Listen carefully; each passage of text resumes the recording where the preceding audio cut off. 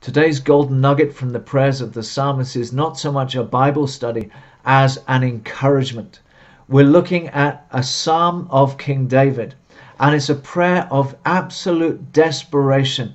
In Psalm 13 and verse 1, King David prays, How long, O Lord, Will you forget me forever? How long will you hide your face from me? How long shall I take counsel in my soul, having sorrow in my heart daily? How long will my enemy be exalted over me? It's a cry from the heart. This is a visceral, a, a, guttural prayer. It's a prayer that comes from deep within. There's no wonderful theology in this prayer. There's no uh, praying the prayer of faith kind of prayer. This is just, God, where are you? I need help. Where are you? Where are you? Where are you? It's an absolute cry of desperation, but that does not make it any less powerful a prayer than any of the other prayers that King David prays throughout the Psalms. This in itself is an amazingly powerful prayer because this is a prayer that God will listen to. When Jesus crossed over the Sea of Galilee, to the shores of the lake and to, to, the land of the Gerasenes, where he encountered the man who was possessed by a legion of demons. It tells us in the scriptures that that man used to cry out daily what was that man crying out? I believe that that man was crying out to God for help. He knew that everything was wrong. It was a dark place. It was a wretched place. He was possessed by a legion of demons, but he was crying out daily. And I believe that that is why Jesus was sent by the Father. Remember, Jesus said, I only do what I see the Father doing. Jesus crossed that lake because the Father directed him to that place where the man was crying out. If you are crying out in the midst midst of darkness today, I have good news for you, my friend. God hears your cry. God hears your cry.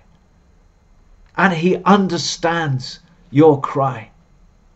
When Jesus hung on the cross, as he bled and died, so that we can be forgiven of our sin and born again of the Spirit of God.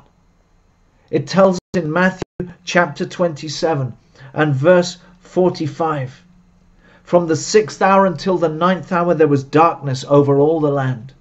And about the ninth hour Jesus cried out with a loud voice, saying, Eli, Eli, lama sabachthani, that is, my God, my God, why have you forsaken me?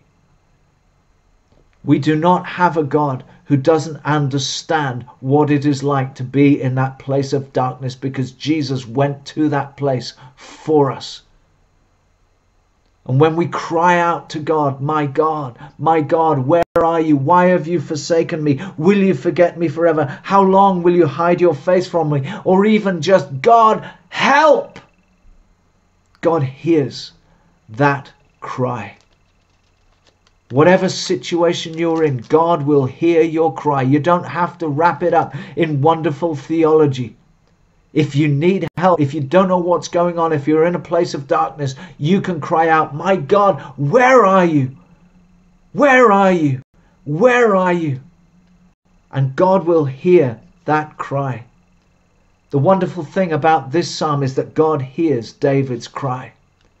And the situation does not change. We don't see from one the, the, from the beginning of the psalm to the end of the psalm that David's situation changes. But when we come to verse 5, we see that God has heard David's cry and he has placed a faith in David's heart. He has brought David back to a place where David can say this.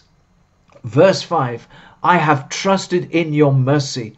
My heart shall rejoice in your salvation. I will sing to the Lord because he has dealt bountifully with me. The situation hasn't changed, but God has given David that reassurance in his heart that no matter, no matter how dark the situation may be, no matter how desperate the situation may be, that God has heard his prayer, that God is with him even in the middle of that struggle. May God bring you to that place today where you can cry out to God, Help me, Lord, I need you. and allow God to bring you to that place where you, even in the middle of darkness, can declare, I have trusted in your mercy. My heart shall rejoice in your salvation. I will sing to the Lord because he has dealt bountifully with me. God is with you in your situation, and he will bring you to that place of faith and rejoicing, even in the middle of trials, even in the middle of terrible circumstances. When you cry to him, God, help me. I don't know where you are, but he will bring you to that place where you say, I trust you, and so I can rejoice. God bless you. Bye bye.